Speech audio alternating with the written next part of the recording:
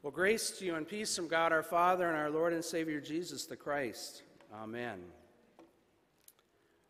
Well, it is perhaps painfully obvious to anyone who has turned on a television or listened to a radio program or even scrolled through Facebook on your computer that it is a presidential election year.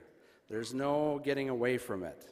Everywhere you turn, there's another story about some candidates saying something outrageous, and then another candidate's trying to be more outrageous than the last one as in their efforts to be elected to the highest office of the land.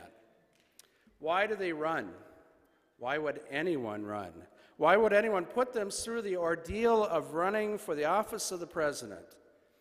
Well, I suppose if you would ask them, they probably have fairly prepared answers for that, maybe even a little bit of a canned answer to tell you their reasonings. Maybe, maybe it's a, a, a statement that sounds rather noble or, or uh, provocative, like they are running to take back America, or they want to make the, the country great again, or something like that. But I think, I think the primary reason they do it the primary reason someone wants to have this most important of all offices, the basic reason has to do with power. They want power. They want power to use and exercise, and they would say they want that power to use it and exercise it for the good of the nation. And each candidate has an agenda as to what they say they will do with this power once they have it. Now, this is not necessarily a bad thing. In fact, it's probably a good thing you know what people are planning on do should they be elected. Uh, one candidate has said that they will deport all illegal aliens who have come to this country, all 11 million of them. He's a little sketchy on the details, but hey, it's just an agenda, folks. Uh, others have said they want to keep out all the Muslims from coming into the country, at least until Congress has got things figured out. Well, we know how long that will take. Uh, one candidate's agenda is to break up all the big banks and give universal health care and uh, tax all the wealthiest Americans. All these candidates have their own agendas, their plans of what they are going to do. Each of these agendas, though, all seem to be based on the premise of people's fears and needs for protection from sources uh, from within our country and from without. Well, every candidate has an agenda about how they will use power if they are elected. So it's probably a good idea to find out what their agenda is before you go and vote. Well, our gospel reading for today from the Gospel of Luke, interestingly enough, also speaks about power.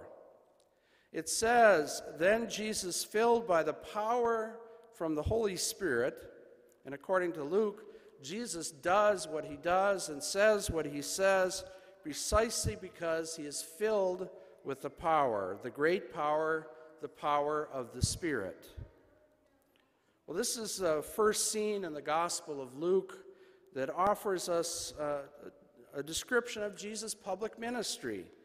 And and according to the, the way that the gospel writers think and operate, first things matter. First things matter because they set the tone and the priorities of the whole rest of the story. So it's clearly important to Luke for us to know that Jesus comes filled with power, and perhaps even more, it's important for us to know just what this kind of power looks like.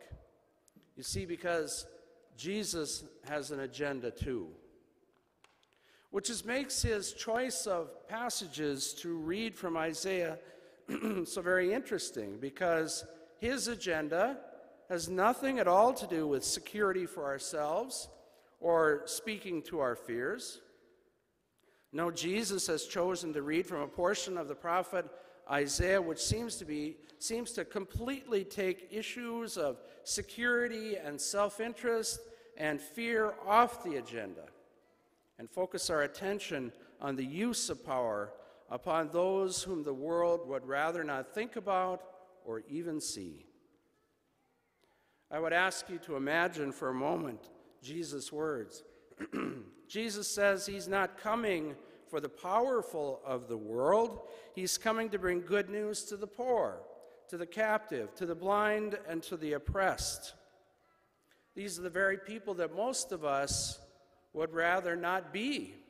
We would rather not be among the poor or the powerless or the outcast. These are the folks that you may pity, but you do not admire. And yet Jesus says he comes for them. Jesus, Luke begins by saying, comes with power of the Holy Spirit. And that power brings with it a whole other agenda entirely. All of which challenges our typical notions of power. Power, as the world usually understands it and as leaders exercise it, has not always been good. John Acton, who was an English scholar and historian, wrote a letter to his bishop in 1887, and the bishop thought it was so worthy that he's forever quoted. Acton says, Power tends to corrupt, and absolute power corrupts absolutely. Great men are almost always bad men. I think this reflects how people have often seen and understood power used and abused in our world. However, power, at least the power of the Holy Spirit, the power that is of God, is demonstrated not by our accomplishments or our qualities that we may claim for ourselves, but it only is found in what it accomplishes for others. Power is only power when it sets others free, only when it builds others up, only when it is used for the betterment of others around us. How peculiar when you think of it, and how different from the understanding of power that surrounds us. Indeed, the power of God at work in Jesus pushes us to shape, reshape our ideas about power and reorient our way of thinking away from ourselves and toward others. The power of God, the power of the Holy Spirit, has been and continues to be at work in our world today. You know, you and I, we too have received the power of the Holy Spirit. I want you to think back to the last baptism you saw, or any baptism you saw for that matter. Whenever we watch the baptism of a little one at our font, the water is poured over their heads, and the words are spoken I baptize you in the name of the Father, and the Son, and the Holy Spirit we are witnessing the gift of the power of the Holy Spirit that is poured over us like water poured upon the head of a new child of God. And so we too have received the power of the Holy Spirit in our baptisms. And it's through the power of this Holy Spirit that Christians have, through the centuries, done the things they've done and said the things they've said. And because of that, the church grew from 11 frightened men locked behind doors in Jerusalem on Good Friday into a movement that spans the entire globe and through the centuries.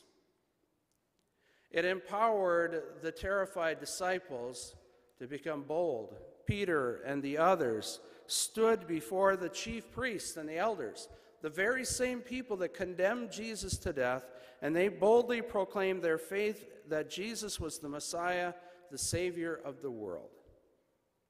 It was the Spirit who empowered the Apostle Paul to go from town to town, from city to city, sharing and proclaiming the good news of Jesus. He endured punishments and beatings and imprisonment and all manner of trials and tribulations so that he might plant the first seeds of faith among Gentiles, non Jews, that is, people like us.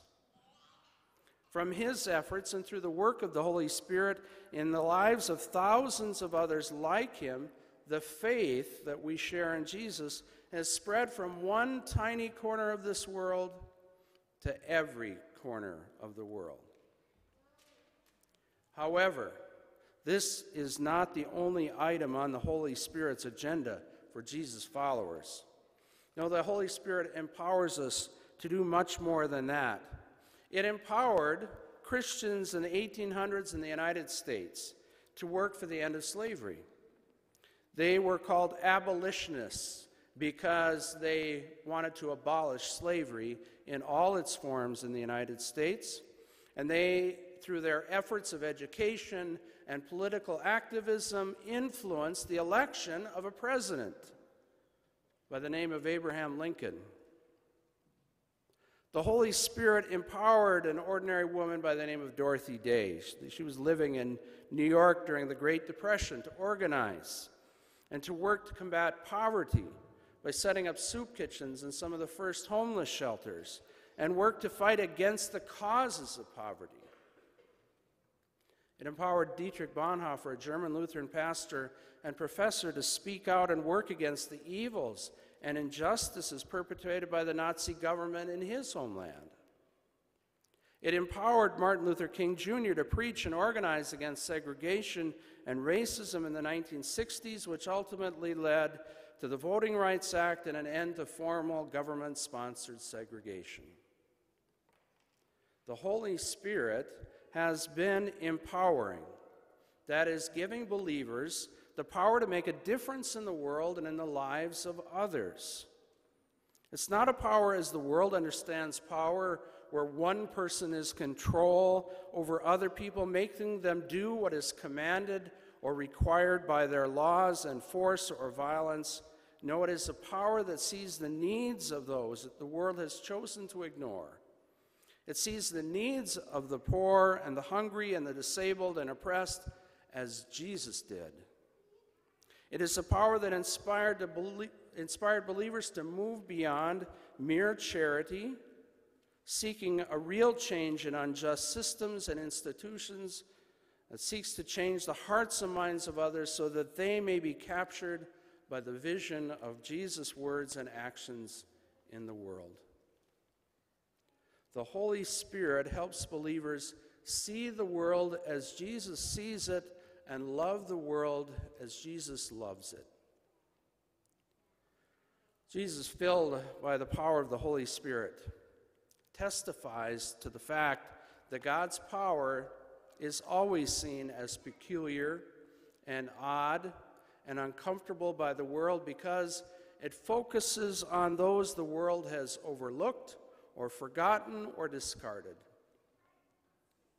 He knows we act in ways that make it seem that some lives matter and others don't, but proclaims that those distinctions fade away in the face of the grace of God.